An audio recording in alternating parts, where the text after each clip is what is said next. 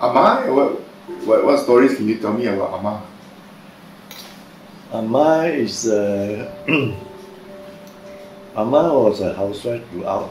Mm. Never never worked there. so a housewife throughout, and uh, all of us were nine, uh, nine Yeah, nine. altogether.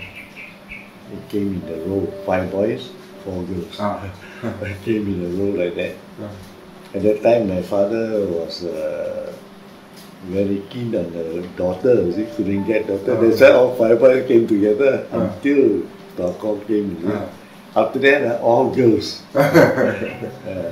Uh, so that's how we end up with nine in the family. lah. Mm.